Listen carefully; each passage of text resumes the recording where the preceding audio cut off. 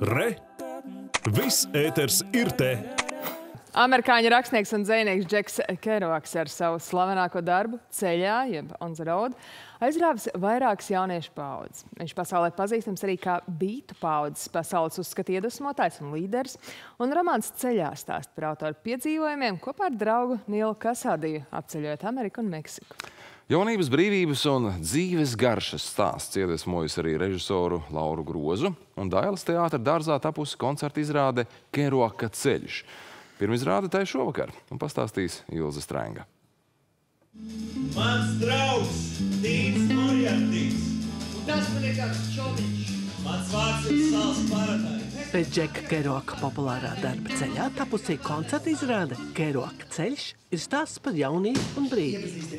Ceļš vilina ar jauniem iespaidiem un piedzīvojumiem. Arī pašam autoram dzīve bija piedzīvojums. Un viņa dzīves svinēšanas tekstus režisors Lauris Grozs idejā muzikālā stāstā pārlicis dramaturgs Artūrs Dīcis. Pagrieziena punkti ir tie, kas iezīmē šo cilvēku vēlmi pēc absolūtas atgriešanās. Viņi saskars ar to, ka tas nav nemaz tik vienkārši. Viņi saskars ar to, ka attiecības ar viņiem nav nemaz tik ideāls un romantisks, jo tāds absolūti brīvais ceļš arī neeksistē. Tur ir ļoti daudz smelts. Šis romāns patiesībā no manas skatu punkta lasot arī ir par draudzību. Bet tā draudzība ir pilnīgi citādāka. Viņa ir tāda beznosacījuma draudzība. Ne, nav varbūt arī tik romantizēta. Nav tieši tā, jā. Tā kā ir realitāte. Nu, gribās tev kādreiz tam labākajam draugam uzšaut. Nu, gribās, tas tā ir. Jā. Bet tas ir no, no mīlestības, nevis pretējā variantā. Un gal galā vajag tev draugu. Beig beigās tev vajag draugu. Nu, par to ir to ir laikam tas stāsts. Iestudējumā lielvērtība ir muzikālā vadītāja Rudolfa Dankfelda 20. gadsimta 60. gadu izvēlētā mūzika. Skanēs klasiķu Četa Beikera un Elas Fidžeraldas dziesmas. Izvēlēt arī grupas The Doors, Petijas Smītas, Džimija Hendriksa, Boba Dilana un vēl citu radītā mūzika. Nav nekas jāizdomā jauns. Mēģinam kā paņemt to, to, kas tur ir tā, tas, tā lielā lieta, bet uh, kaut kā tomēr caur sevi. Es nevarēšu būt nekad uh, Džimijs Henriks vai, vai Petīs Mita, bet uh, es būšu daudz citas sievietes šajā izrādē, kuras, kuras jā, dziedās šīs dziesmas.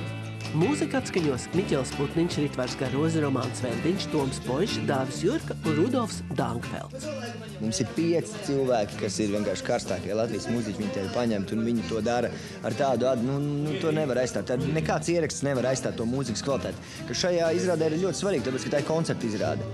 Un šeit pusi no laika, kas tiek, ko skatītājs pavada skatoties, pusi no laika viņš baudīs mūziku. Džekam Kerokam vienmēr paliks 47 jo 1969. gadā nāve uzveica dzīvi. Bet šogad atzīmējam Džeka Keroka simtgadu. Ar laika garšu koncertu izrādes stils tika veidojis māksliniece Ilze Vītoliņa un gaismu māksliniece Māra Vaļikova. Man savukārt būtu interesanti izlasīt tiešām kaut kādā ziņā angļu valodā to grāmatu, jo bija kaut kāda video faila YouTube, kur pats Keroks lasa šo te tekstu, ko viņš ir uzrakstījis, un viņš skan ļoti jaudīgi. Ko man darīt? Koncerta izrāda Keroka ceļš dzīvi sāk svinēt 24. māja vakarā Dailes dārzā. Ilze Strenga, Igors Štāts, Latvijas televīzija.